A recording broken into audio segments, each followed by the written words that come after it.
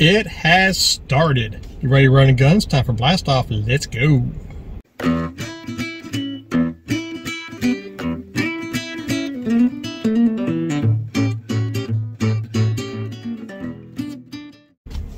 Hey guys, Todd here with you. Welcome back to Bassin 101. Truck talk of the day, and it's an interesting one because the NPFL has banned forward-facing sonar for the two for the 2025 season. Who else is going to follow suit? I'm sorry. The way I look at it, I look at this differently than other people. If you're earning money, I don't care if it's a YouTube channel, tournaments, whatever. If you're earning money, you're poaching. And, you know, whether you agree with it or not, everybody is you know, entitled to their own opinion. But I think if, if you're earning money whatsoever in fishing, you shouldn't be allowed to use it. There was a guy I was watching uh, who's here locally, and and uh, that's about as far as I'll go. He's he's you could say pretty well known, maybe. Um, and I like the guy. Don't get me wrong, but I do disagree with him on something. He he was kind of split down the middle. It could be a good thing. It could be a bad thing. And he mentioned the local tournament deal which from what I've heard from friends of mine who do local tournaments and stuff like that, they say that the turnout's been dropping because so many people are buying these units and they either can't afford them or just don't want to use them, so they don't fish them anymore. But this particular individual said that they were just blossoming in attendance because of this. okay. Um, I kind of see my buddy's point of view, the, all the different people I've talked to. And it's not just where I am here. I mean, we're talking we're talking tournaments, you know, local tournaments and stuff like that in other states. And people I've talked to that have dropped out of it, they're not going to do it no more unless it's banned.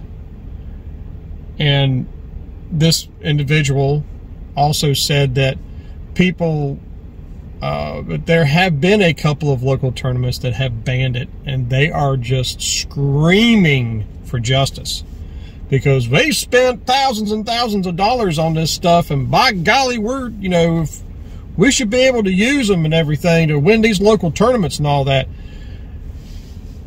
Did they sleep in math class?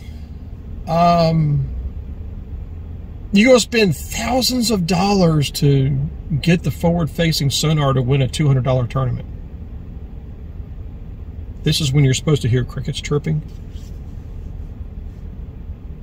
You know how many tournaments you got to win to pay that dude off? You'll, you'll be retired before that even happens. Wow. If it ever even happens.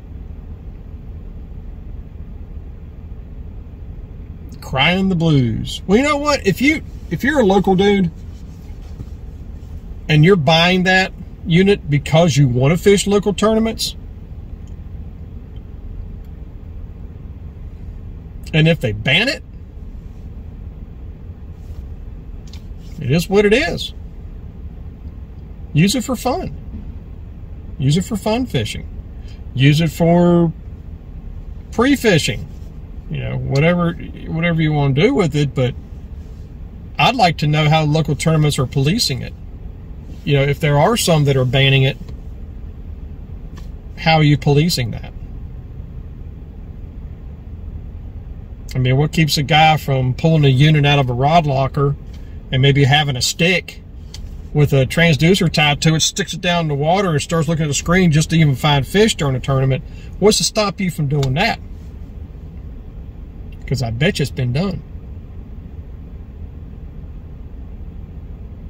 You know, there's even a buddy of mine that uh, has got a channel on here, lives not too far from the house, just a few minutes from the house. And he just recently bought one for his kayak because in the kayak tournaments he's been fishing, that's what they've been doing. And uh, I was just kind of like, you know, why would you do that? Well, in order to compete, but the math doesn't work. You know, I mean, to each his own. I mean, if he, if he wants to buy it, go for it, dude. But, you know, I mean,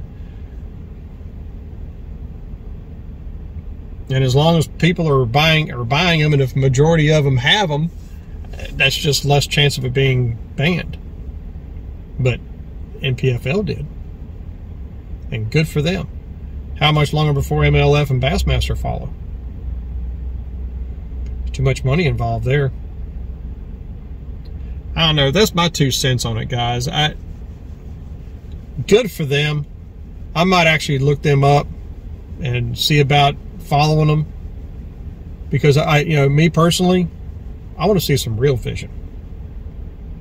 That's all I gotta say about that. With my infinite wisdom that means bupkis. so anyway, until next time, guys, remember, new techniques are trendy, but bass never change. May the Father bless you and keep in Yeshua's name, and as always, fish on.